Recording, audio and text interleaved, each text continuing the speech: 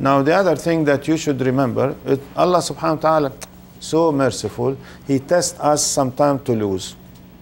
It's better to lose money rather than lose a loving one. Better to lose money rather than biologically having cancer, AIDS, uh, venereal diseases and whatnot. And sometimes, I told you yesterday about the zakat, that early Muslim used to pay zakat in advance so as Allah will preserve their business. But many times we don't pay the right amount of zakat.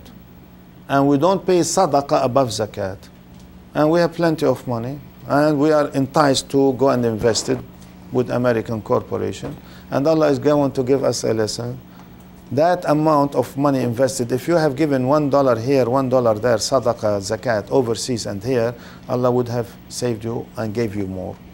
But by denying because of the lusts, money, money, money, I have one million, I'm not satisfied. I wanted two, I'm not satisfied. I wanted three, I wanted four.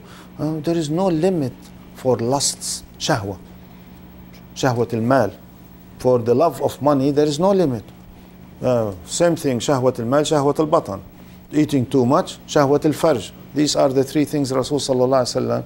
You want to get sex, sex, sex, sex. There is no limit for it.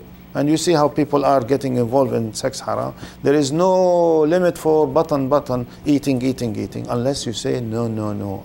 I want to be to the minimum.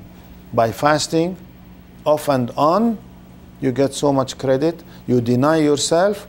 Not only Ramadan. Now these, now 10 uh, days of uh, Muharram we told you yesterday, try to fast whatever number of days you want. You get the best credit from Allah subhanahu wa ta'ala and be close to Allah subhanahu Train yourself to fast Monday and Thursday and see how much your health is going to be and how much you are going to really produce rather than lazy.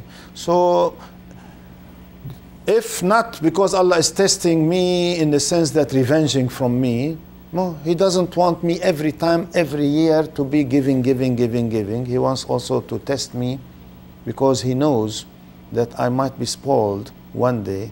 I might reach a stage that I am the provider. He said, No, I'm going to deny you, so as you extend your hand. Many times, husbands say to their wives, I'm the provider. That is shirk. You are not the provider. Provider is Allah subhanahu wa ta'ala. The moment you brag to your wife, I am the supporter, I am this. So, lost, I have seen so many brothers lost their business, lost their investment, lost this. I said, either it is a hikmah from Allah, there is a hadith about it. The hadith says, here, uh, meaning of it English, I'll keep you healthy, healthy, healthy, healthy, because if I make you sick, you'll become kafir. He said, I know your limitation, so I have to keep you healthy. I keep you wealthy, wealthy, wealthy. If I made you poor, poor, you'll become kafir. I want to keep you sick, sick, sick, because if I make you healthy, you'll become kafir. I want to make you uh, rich, rich, rich, rich, because otherwise you'll be kafir. Or healthy, sick, whatever. All these, I mean, varieties. He said, I know exactly your capacity. You cannot tolerate money, so I will not make you rich. I'll keep you poor, and you stay Muslim. The moment I'll give you money, khalas, you spoil. I have no time for salat.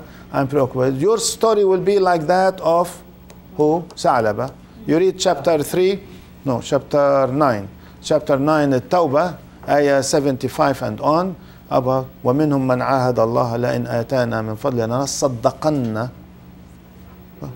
ها؟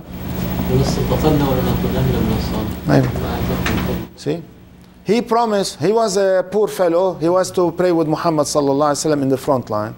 He saw all the rich people, I'm not rich.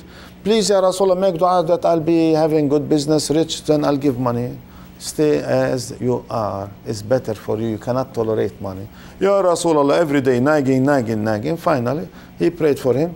He had business. He preoccupied himself with business. He used to pray in the first line. Now he used to come late, late in the last line. And even after Iqamah, after half Salat, and even Jum'ah, he didn't have time for Jum'ah.